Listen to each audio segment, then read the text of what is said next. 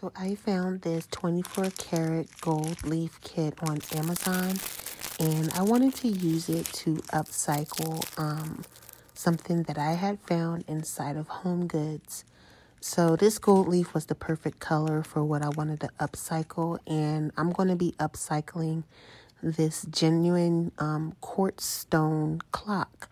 So I'm going to be using some metal leaf adhesive and how you use this is you apply the adhesive to where you want to place the gold leaf. You make sure it's nice and wet. Then you let it air dry a little bit before you apply the gold leaf. And then just like as it's tacky, you apply the gold leaf on top. So here I am covering the um, surface of the edge with the metal leaf adhesive with a soft applicator.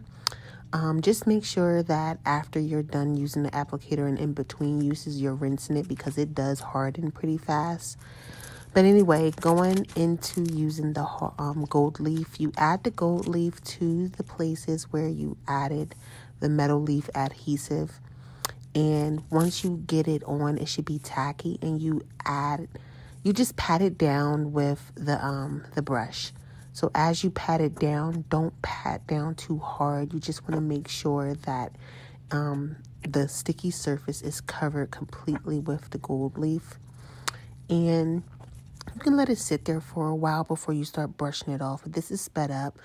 So once you start brushing it, it should actually adhere to whatever surface you added the, the um, adhesive to, and it should start to get really shiny. So it should go from a dull to a shiny and you cleaning up the edges and everything you just brush.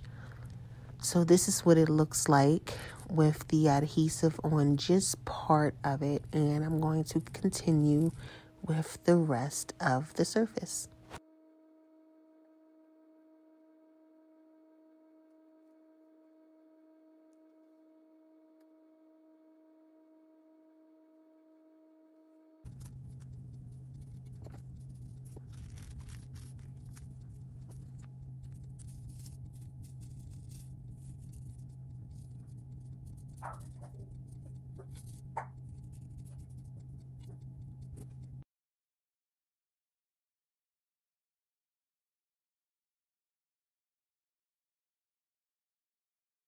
So I do want to mention that sometimes you won't get the entire area covered.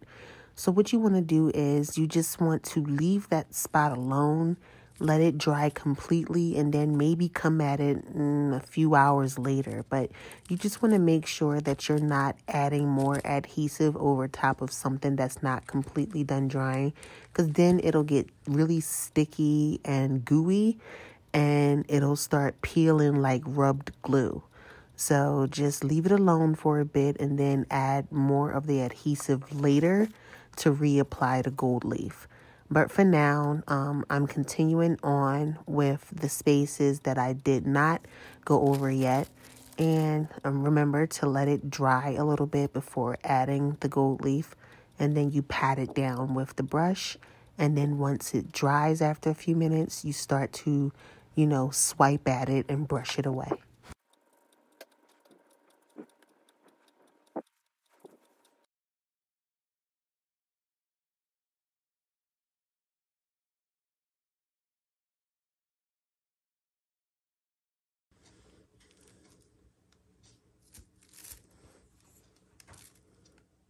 So I'm really liking how this is coming along and I am deciding that I want to just add another little feature to it to make this genuine quartz stone clock pop just even more. So I am going to go along the edges with a hot glue gun to give it just a, a halo of gold and give it some raised texture.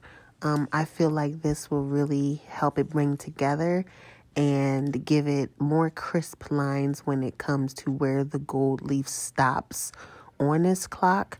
So yeah, um, when you add the hot glue, just go in small sections because as the glue dries and as it cools, the the um, gold leaf won't stick to it. So just make sure it's still a little bit warm when you add your gold leaf over top of the hot glue and it'll stick just fine.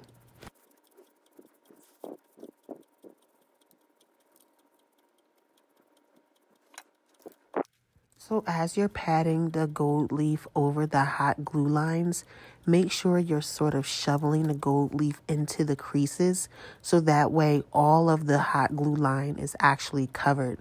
This will give it a seamless finish and make it look like it's really tucked up in there. Um, it looks really clean and it's a nice finish to an edge.